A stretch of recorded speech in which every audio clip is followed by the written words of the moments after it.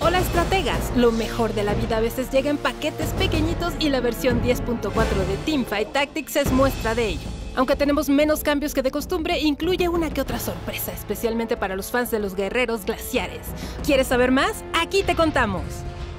¿Te cuesta trabajo recordar contra quién te acabas de enfrentar? Pues ahora el indicador de rondas que aparece en la parte superior de la pantalla muestra a los oponentes de las rondas pasadas cuando pases el cursor encima de la barra. Con una mejor idea de quiénes serán tus próximos retadores, podrás planear mejores composiciones y armados para contrarrestarlos. También corregimos un error que causaba que la habilidad de Olaf no purificara ni lo hiciera inmune a los efectos de reducción de velocidad de ataque. Más imparable, imposible. Comenzamos los ajustes a campeones con buenas noticias. Aunque Orn recibió una mejora en el parche pasado, vuelve al 10.4 con un aumento a su daño de hechizo en todos los grados. ¿Qué esperabas? El dios de la forja no puede sentirse debilucho. Cuéntanos si este buff hace que las composiciones de eléctricos aparezcan más seguido en tus partidas. En muchos lugares febrero es el mes del amor y la amistad, y hay un par de enamorados en la convergencia que están bastante inspirados. En el caso de Lucian aumenta la tasa de daño de su habilidad en los primeros niveles, mientras que Senna mejora el daño adicional que otorga a sus aliados.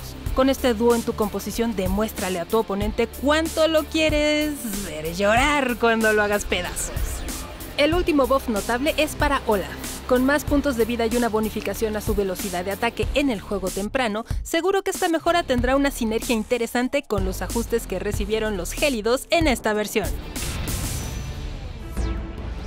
El norte no olvida.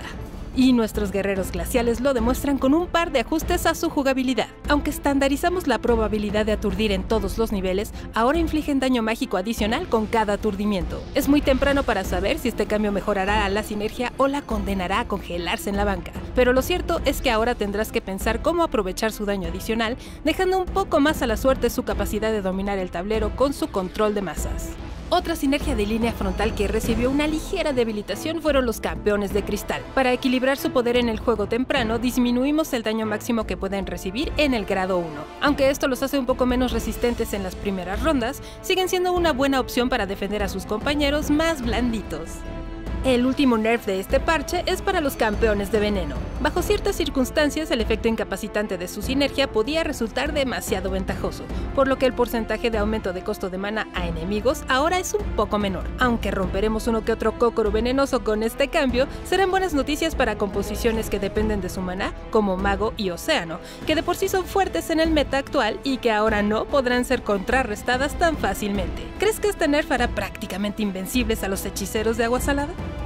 Recuerda que siempre estamos al tanto de tus comentarios, así que no olvides contarnos qué nuevas estrategias descubres conforme el juego evoluciona. Por lo pronto, a sacarle jugo a los ajustes de la versión 10.4 y nos vemos en la convergencia.